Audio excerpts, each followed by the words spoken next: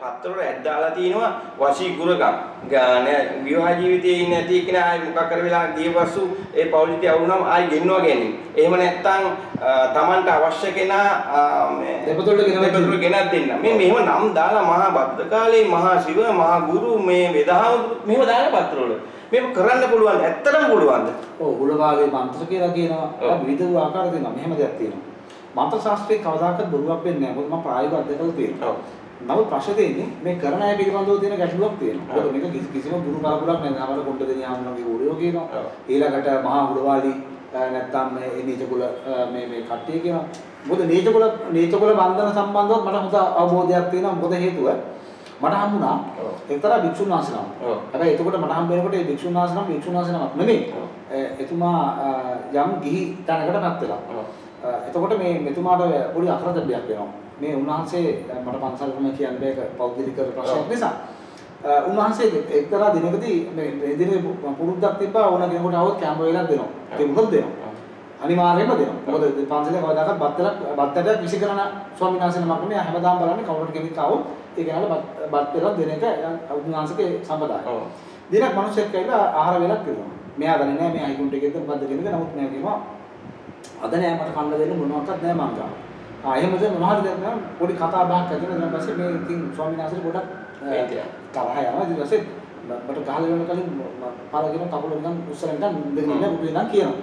ඊට පස්සේ මේක යම් ආකාරයකට මේ මිනිස්සයා ආ එහෙමද කියලා ඔව්. එච්චරයි.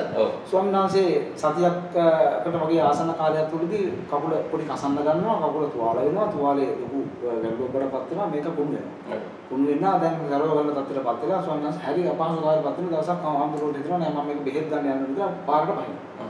බහැබලා ඉඳලා මෙයාට පේනවා පේනවා ගමන ගමනක් යනවා යනවා ගම් කීකක් පහුරන ගිහිලා අර ගුබ්බෑමකට. ඉතින් අපි කියන අහිගුන්ට ගුබ්බෑම කියලා කියන අහිගුන්ට ගුබ්බෑමකට ගිහිලා නතර වෙනවා ඊට පස්සේ හාමුදුරුවෝ වටපිට බැලුවම මිනිස්සෙක් කියලා. ඊට පස්සේ ආ මිනිස්සෙක් කතා කරනවා ආ මම සනීප කරන්න කියලා බැලුවම අර එදා ආපු මනුස්සයා. මිනිස්සයා. ඊට පස්සේ දැන් හාමුදුරුවෝ කියනවා වැඩේ මොකද වුණා කියලා. නමුත් කොහොමද දැන් වැඩේ වැරදිලානේ මේ මිනිස්සුන්ට කියලා වැඩේ කරගන්න නේද ඊට පස්සේ හාමුදුරුවෝ කකුල සනීප කරනවා හාමුදුරුවෝ කියන හිම සනීප කරන්න බෑ. මෙනම් මගේ ගුබ්බෑමේ අතර වෙනවා ගුබ්බෑමේ අතර වෙන්න බෑනේ මේ සූරත් දාන උන්වහන්සේ අඳුර අවසන් සූරේ අයින් වෙනවා. අයින් වෙලා ගුබ්බෑමේ අතරලා බෙහෙත් කරනවා. බෙහෙත් කළා. හිටිය හිටියේ එක දවසකදී එයාගේ දෝණි අන්දර කියනවා මේ මේ මේ අයිකුණ්ඩක මේගේ මිනිස්යාගේ දෝණි උඩට කියනවා බත් එකක් හදන්න ඉන්න කියලා. ඒ බත් බත් එක කෑවන් පස්සේ කාපු දවස් ඉඳලා හාමුදුරු සෑහෙන කාලයක් යනකම් හාමුදුරු මෙතන ගිහි ගිහි පුද්ගලයා සෑහෙන කාලයක් යනකම් ඒ ගුබ්බෑමේ ජීවත් වෙනවා. ජීවත් වෙලා අවසානයේදී යම් දිනයකදී මේ මන්ත්‍ර ශාස්ත්‍රය ඇතුළු සියලු දේවල් මෙතුමා ඉගෙන ගන්නවා.